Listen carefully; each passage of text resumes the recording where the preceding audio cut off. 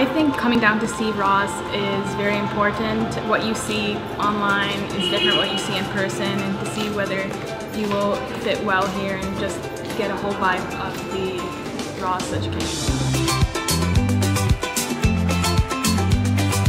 You don't know where you want to go until you actually go there and figure out if it's for you or not.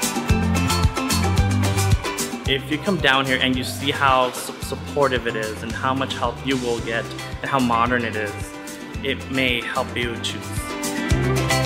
Ross, they gave me a chance. They were the first school I actually interviewed with and I was really nervous. I was scared about my scores and they just gave me a chance and to see coming through this orientation, how they're very hands-on. Ross provided me with the opportunity to get my medical school education and I'm really fortunate that I have It is one thing to see something on, on through a picture or get one side of a story, but it's another to have a first-hand experience and really first-hand knowledge of what you're going to be doing for the next four years of your life. I decided to go through with uh, the campus tour because I thought, like, was Ross really for me? So once I came to the campus and I saw how the campus was, I was like, yeah, this, this school is for me because it's it just felt at home. I really enjoyed the tour because it helped to solidify all the concerns that I had, especially about security because I am